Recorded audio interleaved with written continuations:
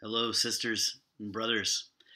Um, today, just a reminder that uh, that sometimes we get this sort of spiritual poor self-image.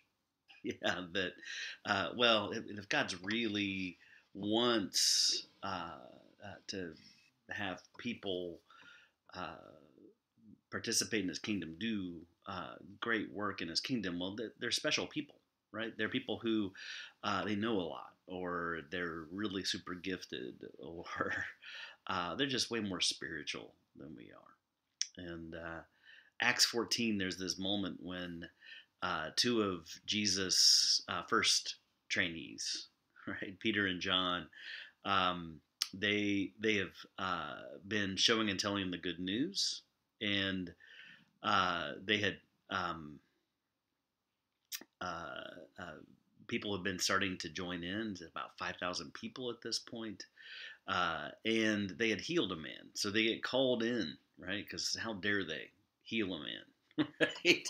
and and they, so they are called in uh, to the elders and teachers of the law, and they're asked, "Hey, well, by what power, what name did you do this?" Uh, and so they speak up, remember they've been trained by Jesus, right? They, these are fishermen, and, and, that's what that's what uh, uh, these uh, this ruling council sees. They see just kind of rough and tumble fishermen, and, and, yet they speak up and say, "Hey, rulers and elders of the people, if we're being called to account today for an act of kindness shown to a man who was lame, and are being asked how he was healed, then then know this."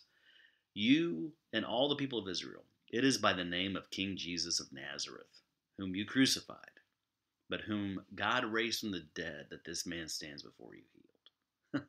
right? Uh, they're just willing to give a straight answer, right? And a solid one and a bold one. And uh, after saying a little more, the uh, uh, the leaders here, they saw the courage of Peter and John and realized they were, here's the line, unschooled and ordinary men, but they were astonished. And they took note that these men had been with Jesus. Here's the thing uh, Jesus just invited them, right? He said, Come follow me, and I'll train you to be like me and do what I do, to be fishers of men and women. and so uh, you and I have the same invitation. Jesus wants to train us. He does it in community. He does it. He's training us as his disciples, his trainees. He's training us to be like him and do what he does.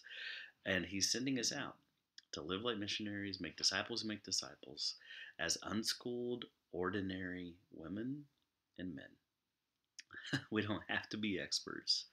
Uh, we don't have to be great. Uh, we just simply uh, we just simply want to be a people who sit at his feet and allow him to train us. and so um, be encouraged today. Uh, there's nothing more you need, right? We have each other, we have him.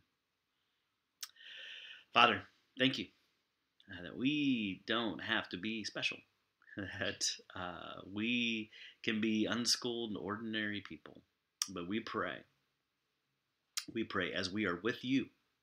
We get to be with you as we are with you. Uh, that the people around us take note that we are with you, that we have been with you, that we're being trained by you. So um, let people see you as we go about our day. And thank you for being our King. Amen. Grace and peace, friends.